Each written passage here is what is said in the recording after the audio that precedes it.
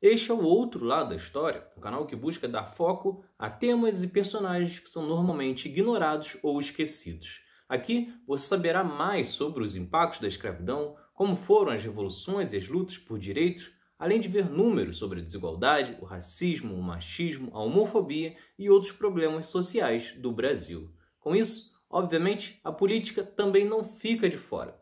Te convido para se inscrever no canal para não perder nenhum vídeo e também nos acompanhar nas redes sociais.